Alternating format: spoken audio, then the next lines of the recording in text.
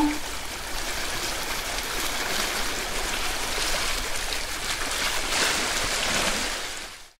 日は釣りに行く前にちょっと用事で蔵の町へついでにもう一箇所のあれでも釣れてるか見ていこうかな。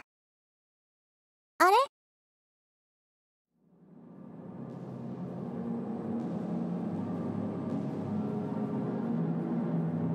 古巣の船舶がいなくなったと思ったら今度はこっちに船舶が。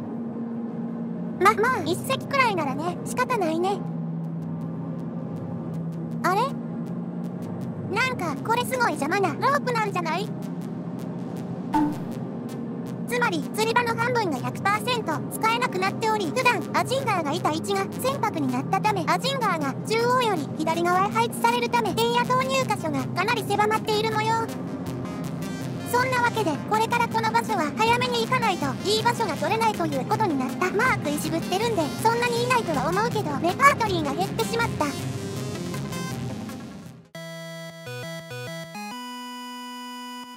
そんなわけで19時古巣の東側へ。腰を下ろす西側はアジンガーがなんかいっぱいいる。釣れてるのかそれとも暇なのか不明。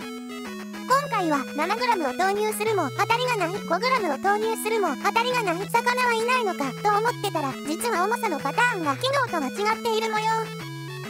この7匹のうち6匹は 17g1 匹は 13g で釣れたリフトボールで全部釣れている今回はただ巻きネットスロー水冷誘いと全部ダメだった。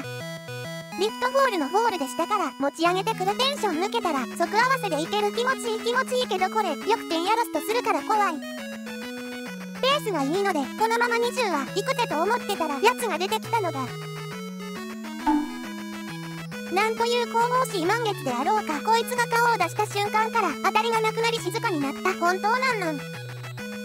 中トラブルもあったし実質1時間半で7匹。数は良かった。この満月がなければもうちょっと良かったかもしれない。はいつもの場所よりややいいくらいそこまでいいわけでもなかった。もしかすると深夜になればいいサイズがいるのかもしれないけどとりあえず8度の冷風だったのでもう無理帰った。今度から夕方がいいんだろうかと悩んでしまう。